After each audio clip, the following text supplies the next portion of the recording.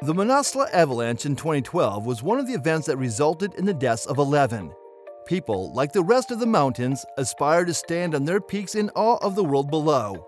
However, the mountains do not always yield easily to the climbers. In this video, we'll take a look at everything you need to know about the 2012 Manaslu disaster. A rocky peak climbs high in Nepal's northern Himalayas. Mount Manaslu, which towers over the surrounding mountains, is the world's eighth highest peak, rising to an astonishing elevation of 8,156 meters. The mountain appears to be both beautiful and dangerous from a distance due to its extraordinarily steep slopes and broad ridges covered in jagged cornices. This frightening mountain has claimed the lives of over 80 individuals, living up to its reputation. Let's discuss the events of September 23rd and how commercial expeditions overconfidence led to the terrible death of 11 persons in an avalanche. When British mountaineers first became aware of Manaslu in 1950, it piqued the interest of Westerners in Nepal. After the mountain was discovered by outsiders, exploration teams began formulating a way to climb it. A prospective ascension route from the mountain's northeastern face was reported by many teams. Despite making arrangements to ascend Mount Manaslu, the British team never attempted to do so. Despite the fact that the British did not attempt to climb the mountain at the time, multiple Japanese teams attempted to do so. Eventually, Mount Manaslu was conquered by Toshio Imanishi of Japan and Gyaltsen Norbu of Nepal in 1956. Despite the popularity of the mountain at the time, the next successful climb of Manaslu occurred in 1971. One reason it took so long was because the mountaineers were not well liked by the people at the time. During the trips from 1950 to 1956, they became increasingly hostile to climbers, particularly after a devastating avalanche in 1954 damaged a monastery and killed 18 people. As a result, inhabitants in the vicinity began to believe that the climbers had insulted the gods. Despite this, by the 1970s, the locals began permitting climbers to return to the summit without more hostility. Mount Manaslu's climbing experience pulls mountaineers to its sharp, steep slopes in the hopes of reaching its perilous pointed pinnacle, despite the fact that it is not the most popular of the 8,000 meter peaks. Despite the frightening appearance, the most popular route for climbers to reach Manaslu's summit is very simple and offers a distinct climbing experience when compared to the other 8,000 meter Himalayan peaks. Many climbers utilize Manaslu as a warm-up mountain before attempting Everest, because it is a shorter 8,000 meter climb, many people use it as a training ground before attempting the world's highest peak. Climbers on Everest are familiar with Calamity as well.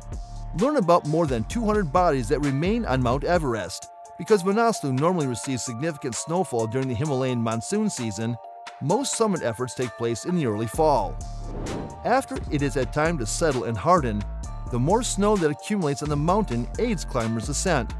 Because the mountain's steep, rocky ridge hasn't yet been entirely covered in snow and ice, navigating it in the spring is much more difficult. When the mountain is battered by high winds, it forms the unique cornices that line the peak's summit. Because of the size of these cornices, it is thought that most climbers mistake a false top for the summit and never reach Manaslu's true summit. Many people believe that ascending above Manaslu's fourth summit is borderline suicidal since the genuine top stands on a steep rocky outcropping that looks to be a gigantic unsupported cornice when entirely covered in deep snow in the autumn. Apart from the last push to the top, Manaslu is regarded as one of the easier 8,000 meter mountains to climb because of its relatively flat gradient and lack of demanding technical expertise. The peak is a terrible experience because it straddles a steep drop off of hundreds of meters. Despite this reputation, Manaslu has had a high number of fatalities when compared to other 8,000 meter peaks such as Cho Oyu. The glacier's ascent is hazardous with vast gaping crevasse fields, an especially active icefall between camps 1 and 2, and large menacing serac encircling its upper ridges. Furthermore, the risk of avalanches on the summit has generated concerns about the peak's safety. Along with these dangers, climbers attempting to reach the summit of Manaslu must be cautious of snow conditions in order to avoid being washed away by a natural disaster. This is due to the fact that the mountain receives a lot of snow each year and has warmer temperatures than other 8,000 meter peaks. In September 2012, the climbing season on Manaslu was in full swing. Snow fell over several days in 2012, making for an unfavorable start to the climbing season. Although the weather was not ideal initially, A 10-day window developed around September 15th, prompting the mountaineers to scale the mountain in preparation for their summit attempt. The difference this year was that Camp 3 was located lower than usual during the climbing season since a large Serac field would give wind protection at the lower Camp 3. While the standard Camp 3 location was about 100 meters higher up the mountain, it was also substantially more exposed to the fierce winds that were constantly pelting the mountain. A heavy snowfall enveloped Manaslu on September 22, 2012, preventing climbers attempting to reach the summit. They spent the night in their tents, attempting to weather the storm and get some rest before daylight.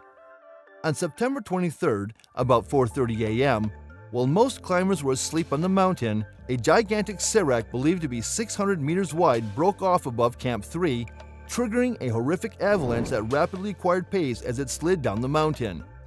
The avalanche dragged away 31 people from Camp 3 as it ripped down the mountain and through the camp, uprooting the tents as it went. Glen Plake, a professional skier attempting to reach the summit of the mountain without using oxygen and then skiing back down, recalled reading in his tent as Gregory Costa slept in his sleeping bag next to him. Costa was thrown out of the tent and was never seen again. After the initial avalanche caused gust of wind blew the tents and climbers at Camp 2, they thought the worst was over. They switched their attention up the mountain to assess the magnitude of the calamity. Greg Hill, a professional skier from Canada, recalls seeing headlamps strewn across the mountain above him and initially assuming that the climbers were conducting some early morning acclimatization. He soon discovered that Camp 3 was no longer visible and realized that the avalanche had swept away the camp and its residents. Hill and the other climbers at Camp 2 made the decision to hurry up the mountain to help with rescue attempts. By morning, helicopters had been dispatched and a thorough search for the 31 climbers killed in the avalanche had begun. By the end of September 23, 2012, eight persons had been identified as dead, while three remained unaccounted for. Unfortunately, the fates of the three missing people had all but been decided as the days passed in the aftermath of the disaster. Many of the surviving climbers abandoned their attempt to reach the top, but a few remained and attempted to reach Manaslu's summit. Remy Lecluse, the Frenchman who guided Glen Plake's team, was among the missing climbers. Remy Lecluse's wife searched for him on the glacier, as a mournful burial for him and several other French climbers was held in Chamonix, France. However, his body was located a short time later in a crevasse after being transported there by the avalanche. In the end, 11 persons were killed in the catastrophe. Luckily, several small independent teams had abandoned their climbs just days before owing to avalanche fears. Although some climbers were saved due to quick thinking, others persisted and put themselves in danger. People died as a result of herd mentality during the accident. Despite the warning indications, the larger commercially led teams continued to push up the mountain, and the other large commercial organizations felt compelled to get their clients to the top, foolishly thinking. On October 14, 2014, a similar incident foolishly continuing. On October 14, 2012, a similar incident occurred when 43 individuals died on the Annapurna circuit. Many experienced climbers and leaders made unwise decisions as false confidence swept across the groups. These bad decisions became dangerous as guides failed to clip in while crossing crevasse fields, causing their clients to do the same. This herd mentality had infiltrated the minds of even the most seasoned climbers. While tragic, the 2012 avalanche acted as a much needed wake up call for many of the large commercial adventure firms.